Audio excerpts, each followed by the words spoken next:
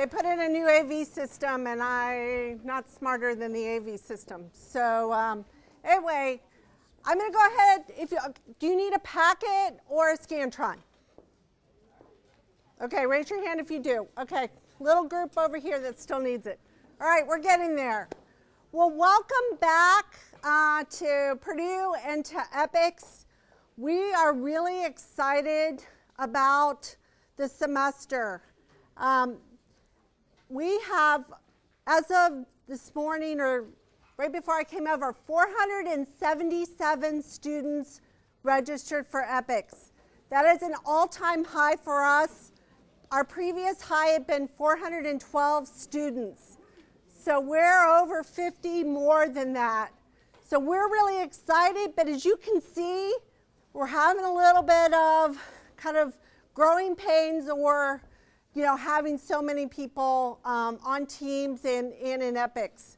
So um, one of the cool things we're estimating based on, based on what is in my EPICS, about two-thirds of you are returning. So that should make for really productive semesters on your team, so we're really excited.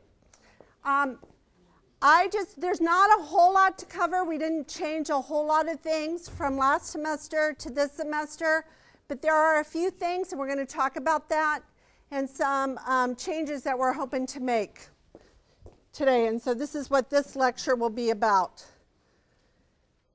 So one of the things, not a lot of changes to the course deliverables, and hopefully now that you're back in EPICS and you've been through one semester and kind of familiar to, with what we are, our words, our language, these things will all make sense. But the course deliverables, basically the same as last semester.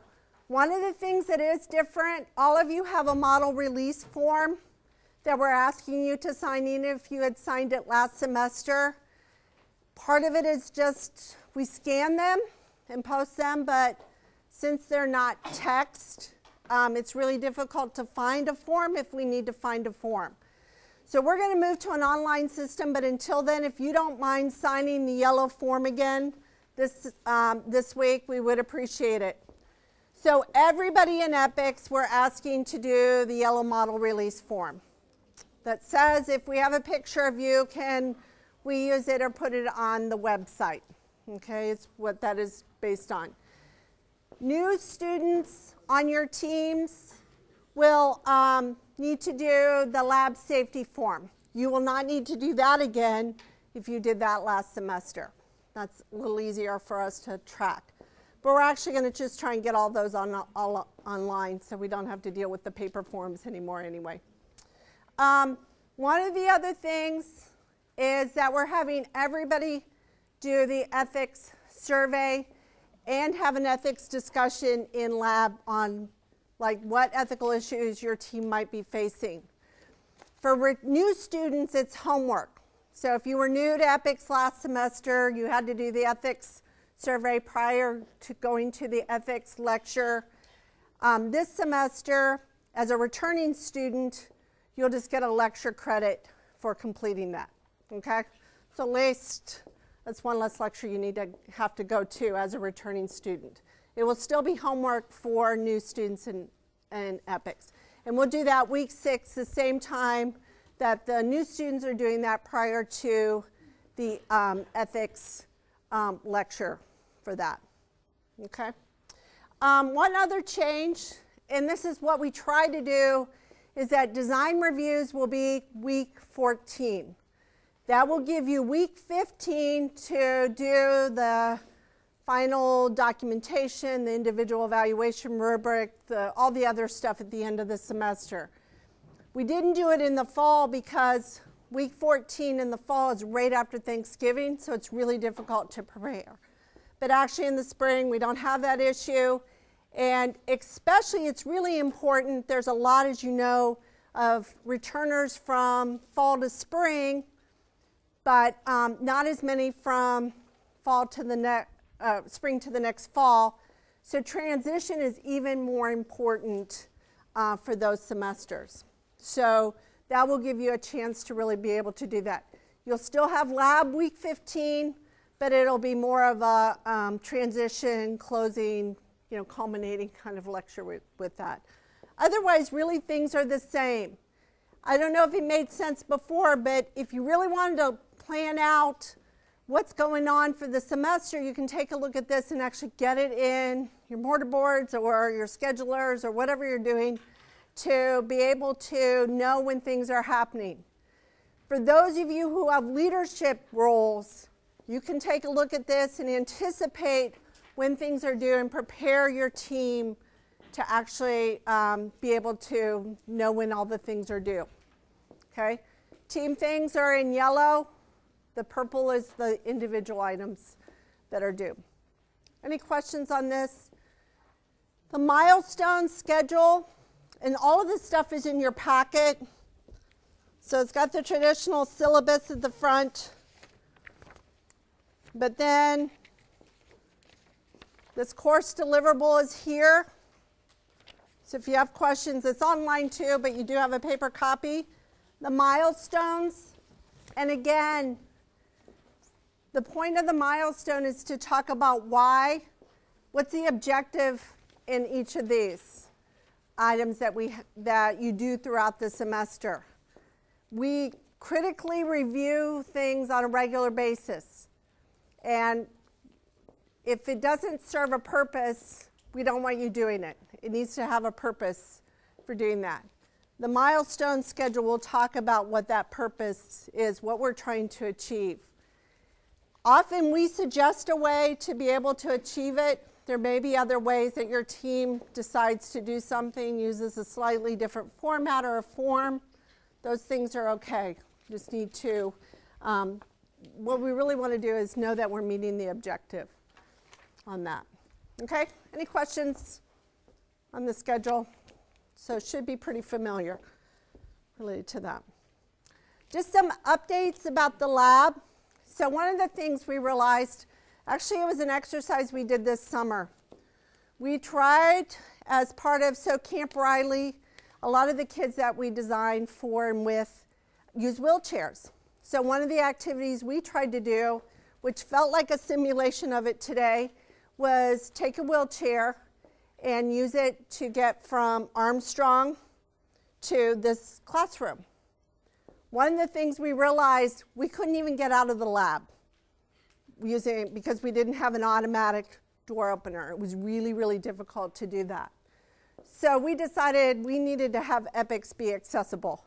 And so over break, we installed um, automatic door openers and a new card access system that should work a lot more reliably than the other one. Um, it will use the same building system um, that Andrew will maintain. So um, it should be easier, and you won't see him walking around with the laptop trying to reprogram um, the locks. It'll be wireless or, or through the, um, the building system to be able to do that.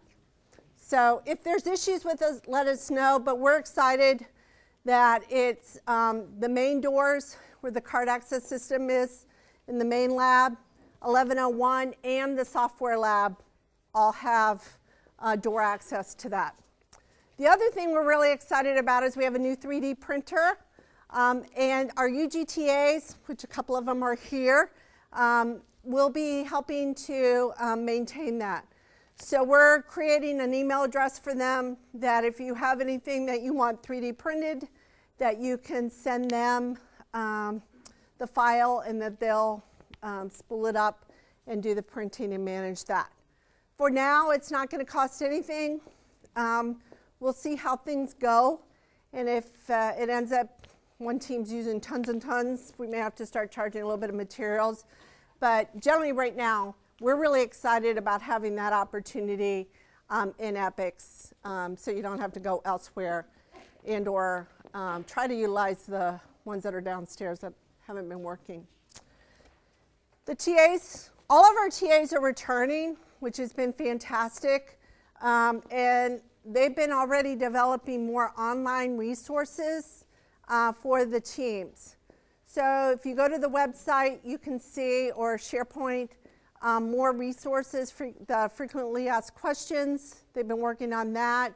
We're trying to provide more examples of good documentation, both individual and team, because we know that that's an important part. Um, if you can see a, an example of good documentation, then you know what you need to strive for for that. Um, I think the team e emails, I indicated in the weekly email that they weren't working. I think they got updated, um, and that seems to be working, even the brand new teams uh, for that. So just make you aware of that. Okay. So last semester, we implemented the new roles, the project manager, and also design leads, um, and had project archivists. So what I wanted to know from you guys, and I want you to get into small groups, how did this work on your team? What worked well? What would you want to change? And what is needed to make this more effective? So gather three to five people real quick. Just quickly talk about what you did on your teams and how it's going to work.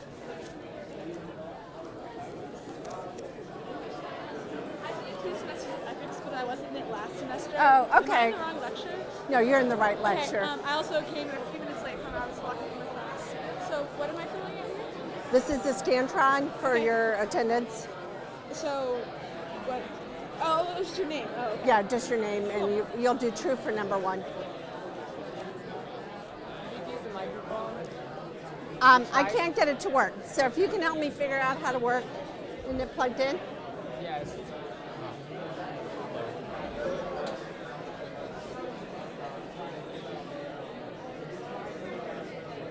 I don't know which one of those.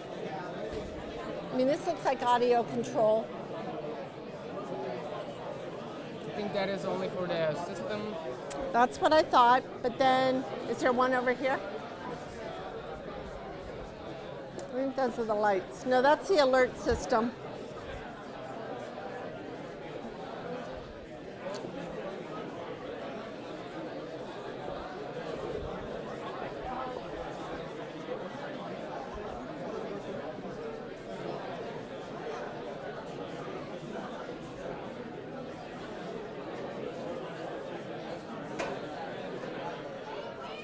I don't think it's Blu-ray audio, is it?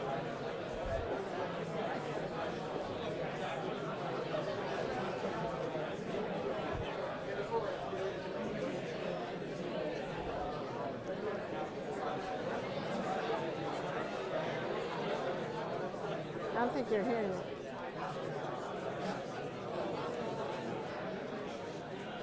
Okay. Yeah, I can't figure it out. I don't think that'll work, but it's not working.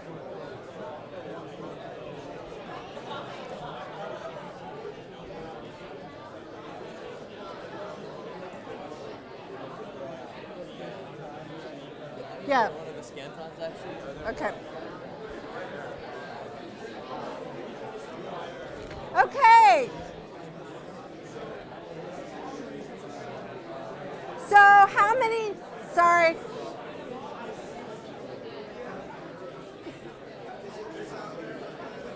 All right. How many teams, I my voice is not going to make it. How many teams did, had project managers roles on their teams? Okay. How did it work? Anybody want to comment on good? Yeah, good. Yes, good. Um, were there any teams where maybe it didn't work as well? What would you need um, to be successful? What worked well about it? We had a project manager who was very well prepared, um, usually for labs, and then as I think as the semester progressed and the workload of the project manager kind of dis, they kind of disseminated to the pro, to the design leads more Okay. than the project manager themselves. They didn't really have an active role in any project except the one that they were actually working on physically. Okay. So I felt like they, they had less of a authoritative presence in the team and more kind of a facilitative presence that kind of was underneath what the design leads were doing. Okay. Anybody else? Kind of experiences with this? Um, were the project managers, did it help keep your projects on kind of time, on schedule? Yes? Definitely. I mean, because that was the whole goal of, of starting this new role or framing it in that new way is that we would be able to keep the projects on task and actually get to delivery. Um, I mean, that's been a- problem. Some of these projects have gone on semesters in a few years. And so it was really important to be really aware. It's how industry is set up. There's project managers who help manage the timeline for the team. One of the things we are going to do to see if this can help um, a little bit, one of our project managers is um, going to facilitate some meetings, and we're also going to develop a few extra skills like how to use Microsoft Project and some different aspects of that that can be very useful in keeping projects um, on schedule and on budget. Okay? So if you're a project manager or team leader, either one of those roles um, on your team, we're going to have a meeting in two weeks, and then she's going to help facilitate um, some of the ongoing meetings that we're going to have. So, all right. Any questions on that? And we also have those other, um, within those skill sessions, we're going to do some of that other skill development. Just an update as far as budgets. If your team turned in a budget last semester um, and you're still, it's still applicable, you do not need to turn in a new budget uh, for this year. Okay, there was an annual budget. If your needs have changed, um, you can go ahead and submit an updated budget. Or if you have a brand new team and you're going to spend more than $200. Uh, the service learning grants information has been posted already. And so, if your team is eligible for that, I recommend that you apply. We have had between sixteen and twenty thousand dollars from those provost grants to be able to support some of the projects. One of the things, though, is you have to have an external customer. So, for example, um, AAEE, if they're working with Purdue Space Day, they still con- they consider that an internal customer, even though those Purdue Space Day brings in 600 kids, and so those teams aren't eligible. But if you have an external partner, um, we really recommend this. Really helps us out a lot in being able to um, meet the needs of all the budgets that we have. Um, it is an online um, application process now, and so you can submit that all online. Just make sure you give us a copy. Any questions about this? So, thanks to the teams who have done this in the past, and um, really recommend people do it in the future. Yeah. It's sometimes it's kind of difficult to get the applications actually in a printable form. Okay. Online application is great, but when you, there's supposed to be a PDF generating part of it that often doesn't work on some or all browsers. Okay. For, for different things. I had a lot of problems with it last. Week. Okay. Even if you can print some aspect of it so we have a record of what's been submitted, because then we know to look for the money and, um, you know, when it comes in. There's And, also no way to save them once you do them. You have to Oh, do yeah. them all together and then you have to submit it. It won't let you actually save the information. okay. So if you do it online, it doesn't have a save feature. You need to complete it all at one time. Okay? So, one of the things we noticed as far as um, one of the way that SharePoint is organized or disorganized for many of the teams. And so we wanted to propose a new organization, or this is actually just a modification of what's been done in the past. This is actually, um, so are your thoughts on kind of a, a, this kind of organization structure? Do you think it would work? Concerns? The idea, so I'm an expert in a few things. One of them would be, or at least experienced, hunting for files on SharePoint. I've had to do it. And one of the things that I think is really useful is that if you organize it by project and have a design document kind of at that high level, so if you're on a team glass. One of your team projects is IPAC. When you go to the IPAC folder, the current design document is right there at the top so that you can find it and everybody else can find it. And not hidden in a semester folder somewhere. Because if, you, if it's organized by semesters, you don't always know what semester it's in, and so you have to go through many different semesters to be able to do that.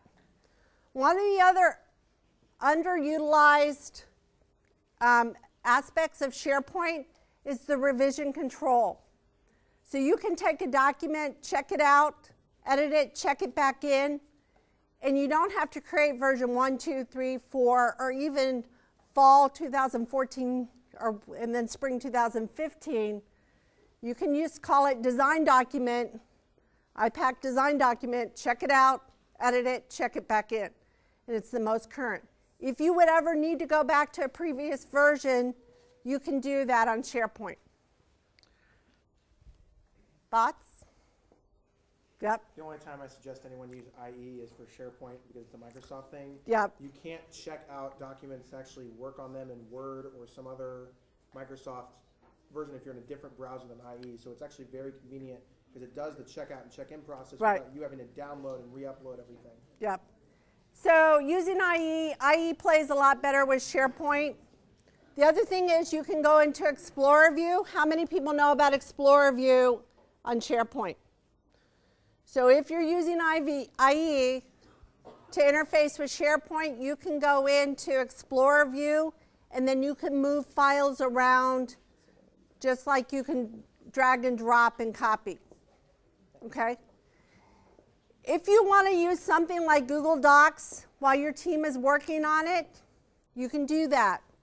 But it needs to be on SharePoint when you're done.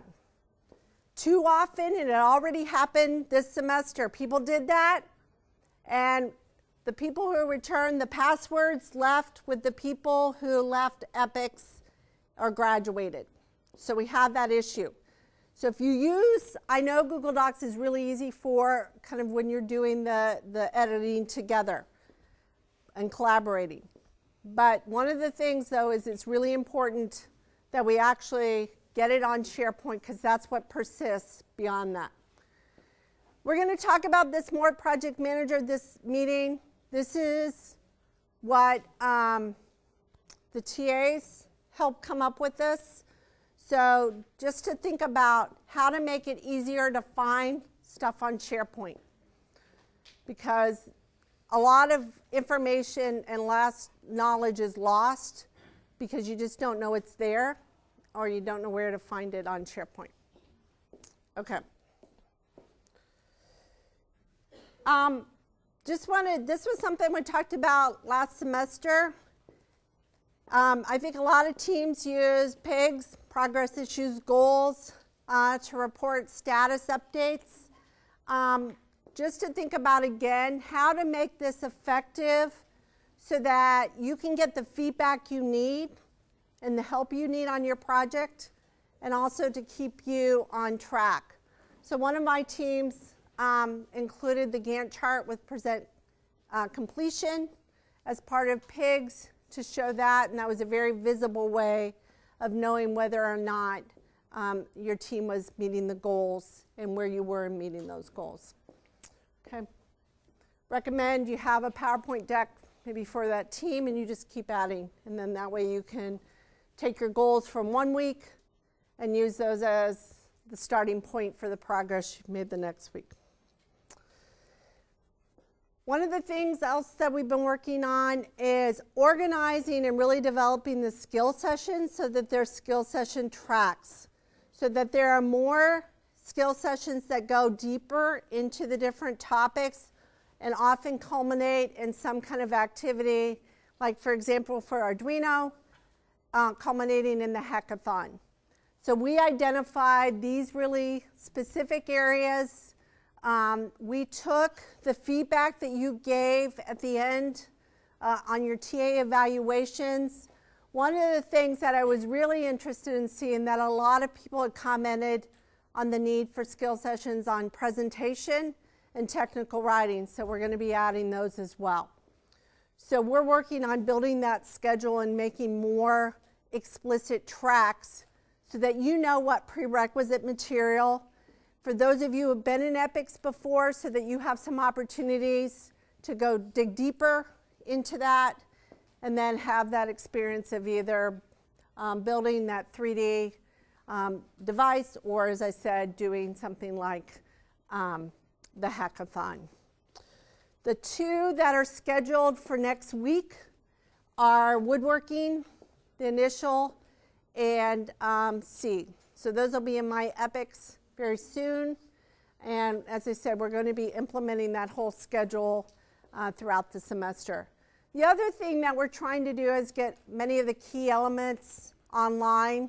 So if you just needed to see kind of our Epics YouTube videos of how you do different things, and um, so that they're available. So if you can't make it to a specific skill session, or you realize later in the semester you need some information, that you can actually access that. So many of these things we're going to be videotaping and putting together for that. Really recommend that you think about and plan what you need for the semester and help those new students on your team plan as well. So that's one of the things as far as really thinking explicitly about what you will need for your, your project and your team and, and really kind of take ownership and I mean this is an opportunity not very often do you get to kind of have control over what you're going to learn or what other skills you want to be able to develop. This is one of those opportunities and recommend that you try and take advantage of it. So, um, going to be doing the leadership track. This is especially attractive to returning students um, because it's four lectures there is some outside work. Um, most of the people that have participated in the leadership workshop have found it beneficial in helping to think about the, um, increasing their leadership skills on their team and in other, um, um in other activities as well. I'm going to do it both at 4.30 and 5.30. We have so many returning students we should be able to fill both sessions, 4.30 and 5.30, um, this next semester if you're interested in participating. So those will be in my epics. You have to go to all four lectures um, to get credit, but then you get eight credits for doing that. So especially for your two credit hour students, you come here, you do the ethics survey, you do these four, that's your lecture requirement, okay? It's a nice pathway for that. Uh, special note, since we are videotaping this 4.30 lecture, um, for those of you who uh, are watching the video or normally scheduled for the 5.30, this is the only week that the 5.30 lecture will meet. Um, the next several weeks, we will have lecture at 4.30, we will videotape it, and it will be available. So if you or someone on your team is registered for 530, what they need to do is watch the videos online. We usually have them posted by Wednesday afternoon, um, where if something would come up, you have an interview, you can't come to lecture, you can just watch the lecture online um, for that. However, you have two weeks to make up the lecture. So not, do not want you waiting till the last week of the semester and having a marathon session with epics lectures. Not exactly, you know, the shows that you really want to be doing that with, okay? I know there's lots of other ones. So, um, yeah, the marathon thing, yeah, no, that's not what we want because at that point, it's not going to be very useful. So the lecture schedule is in your packet as well you can take a look at the other professional development lectures that are available uh, for you. The new students will go through that introductory lecture, that five lecture series. But for you guys, you have the opportunity to do either the lectures, skill sessions, or like the leadership track, some of these other, okay? So, all right. In your packet, um, you have a pink sheet. Why don't you pull that out and take a look at that for a second? What do you think is the number one complaint from advisors or TAs? Yeah. What's most of your feedback? You're doing a good job on the project, but what? Your documentation, right? So, we decided usually we give this just to the new students in their notebooks, but we thought it was a good opportunity to remind everybody what should be included in good individual documentation. So if you have a question and that's been a concern for you or feedback that you've received, um, feel free to talk to your TAs or advisors. Find somebody who does good documentation if you need to see an example. Um, really, it's more why you, you know, it's not just throwing that circuit in there, it's figuring out why is this important not just putting in a link to a website that you visited, but why is that information important and how does it inform your project? You can write the questions that you have thinking about before you go visit your project partner. What were their answers and how does that inform your project? So that really needs to provide more of that insight to those aspects of the design. So if you want to look at it, there's also some recommendations for some formatting page numbers, tables of contents, and things like that. So, any questions about the documentation? But just wanted to remind you. Okay, so before your next lab meeting, your homework is to find your old notebook. I think most of them should be back in the lab by the time I'm done with lecture today. Um, we had a few TAs still working on getting those back there, um, but I think they should be there. Definitely before you walk into your lab, you want to have your notebook. So go find it and don't sit through the first lab without your notebook. And then um, review the prior semester's documentation. It's amazing what you might forget over a break. Um, and then for those of you who have leadership roles, want to prepare the agenda, the blue sheet that you have can actually help also are some things to think about. One of the things about EPICS is that as a returning student, you already are a leader. You already have information and knowledge about EPICS that other people who are new to the team do not have. So it's important that you share that and recognize the opportunity you have to be a leader, whether it's in a formal role or informal role. So, um, you know, you're going to want to make sure all the new people are introduced to your projects and people get assigned to teams. So if you haven't, if you are kind of a project manager or team leader, haven't already uh, prepared for the semester, need to do that. If you identify that your team needs training, uh, specific training that we're not already addressing, please let us know and we can get that set up. All right. Um, just a little bit as a reminder about emergency procedures. As far as, you know, basic, if there's an emergency, call 911. This applies whether we're in here or in lab. And so um, also, if you're not already getting the text, recommend that. There's also a lot of emergency um, telephones. There's also these alert systems in here. Um, depending if there's a fire alarm, we will immediately leave the building. Um, and then if it's shelter in place, um, we will suspend class and go to the lowest level away from windows and doors if it's a tornado. Um, but if it's for another reason, um, we will stay in this room. I don't know, can you guys check in the back? Are these doors lockable here? Okay, all right. So we have the ability to do that as well. Um, we have some other information. Basically, check the website or emails related to that. The evacuation location, just can you, if you can just be quiet just for a couple more minutes, because I just really don't have the voice to yell over. The evacuation location meeting point is between Armstrong and PUSH along that mall area. Even if something should occur here, I want to meet in that location. That's always where we're going to go. That's the location for when we're in arms. We're really not in physics very often, just these few lectures.